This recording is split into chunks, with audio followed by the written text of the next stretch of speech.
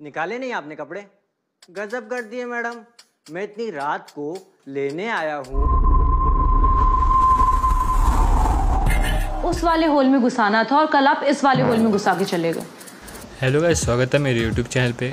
तो आज मैं आप लोगों को कुक्कू की वेब सीरीज़ रात्रि की पूरी स्टोरी बताने वाला हूँ। तो कहानी एक लड़की से स्टार्ट होती है जिसका नाम पाखी था। और उसने मुंबई में अकेले रहकर जॉब करने के लिए एक रूम लिया। और अब वो इस रूम में आ गई थी और तभी उसके दोस्त नेहा का फ़ोन आता है। और वो इससे पूछती है कि रूम मिला कि नहीं सेटल हो गई कि नहीं? और ये बोलती है, रूम मिल गया है। और ये दोनों थोड़ी बहुत बातें करते हैं। अब रात को खाने के बाद सोते हुए पाखी को बांसुरी की बहुत तेज तेज आवाज़ें आ रही थी। तो ये उठकर जाकर अपने बगल वाले से पूछती है कि आपको कोई आवाज़ें आ रही है? लेकिन बगल वाली बोलती है, नहीं। पाखी अंदर जाकर कान में रोई डालकर सो जाती है। अब अगली रात भी यही सब सेम सीन होता है और पाखी ये सबसे काफ़ी परेशान हो गई थी। अब उसके अगली रात पाखी अपने बॉयफ्रेंड संजीव को साथ लेकर आती है, जहाँ ये दोनों सेक्स करके अपना मनोरंजन करते हैं और अपनी प्यास को बुझाते हैं और दोनों खूब इंजॉय करते हैं। और उस रात पाकी को वो आवाज़ें नहीं आती हैं। अब अगले दिन फिर उसी टाइम पे आवाज़ें आने लगी थी हैं और उसी टाइम पे स्नेहा का फ़ोन आता है और उसे भी ये आवाज़ें सुनाई दे रही थी। तो वो पूछती है कि ये आवाज़ें कैसी है? तो पाकि उसे ये सब के बारे में बताती है और ये बोलती है एक अजीब चीज़ हुई, जिस दिन मैं अपने बॉयफ्रेंड के साथ इंजॉय कर रही थी, तब उसे ये आवाज़ें नहीं आई। तो स्नेहा बोलती है, तू रोज़ तब ऐसा ही किया कर। तो ये बोलती है, मेरा तो ब्रेकअप हो गया है, लेकिन संजीव नहीं तो कोई और सही।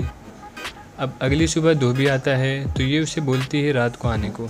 और अब वो रात को आता है और पाकि उसे सामने से अवसर दे रही थी तो वो बंदा भी इसका अच्छे से फ़ायदा उठाता है। और ये दोनों बहुत देर तक सेक्स करते हैं और धोबी के तो मौज हो गए थे भाई साहब। और उस दिन भी वो आवाज़ें नहीं आती हैं और दोनों ने खूब इन्जॉय किया। अब अगले दिन वो एक इलेक्ट्रीशियन को कुछ प्रॉब्लम बताकर उसे बुलाती है और थोड़े डबल मीनिंग वाली बातें कर कर उसे सामने से लाइन दे रही थी तो वो बंदा भी समझ गया था कि क्या चाहती है। और अब वो बंदा उसके बोलने से पहले उसे उठाकर बेड पर ले जाता है और उसके पूरे मज़े लेता है। और पाकि भी इसे खूब इंजॉय करती है और आज भी वो आवाज़ें नहीं आती। अब अगली रात ये एक पिज़्ज़ा डिलीवरी वाले के साथ करवाती है और उसके अगली रात एक वॉचमैन से और रोज़ ये चलता था। और अब तक ये आवाज़ें नहीं आई थी।